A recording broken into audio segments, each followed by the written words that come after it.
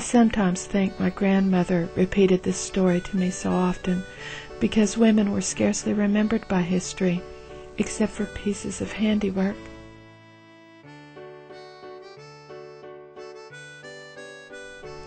Or as the spouse on their husband's headstones.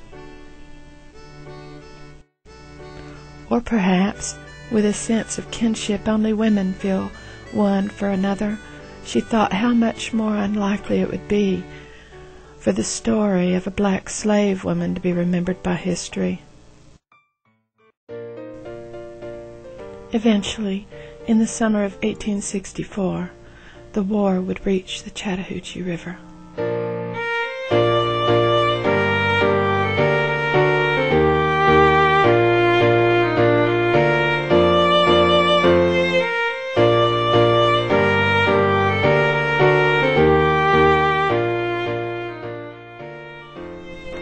Barbara Caroline's mother, heavy with child and frightened by the noise of the siege of Atlanta and the battle so close to her home, entrusted the lives of her children to her beloved Aunt Sarah.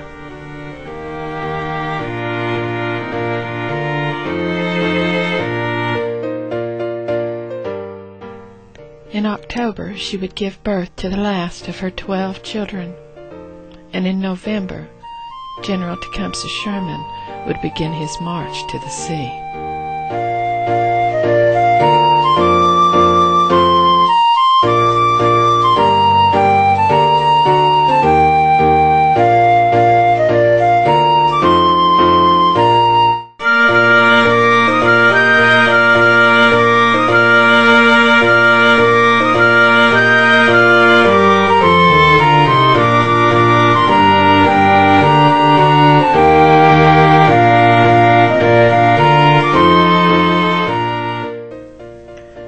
Stragglers and bummers had become a daily occurrence at the Bricker home that summer, but with the destruction of the countryside and the advancement of Sherman's army, they had become even more threatening. When John Bricker was pressed to assist the Union Army with his skills as a blacksmith, he refused.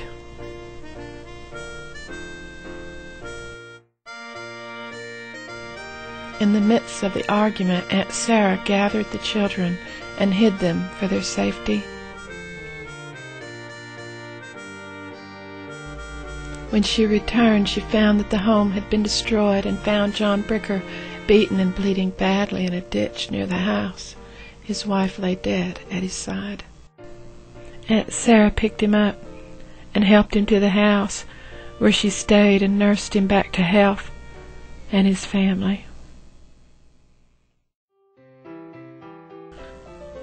Most of the families from that area beside the Chattahoochee would leave Georgia, pushed westward by the loss of their homes and family.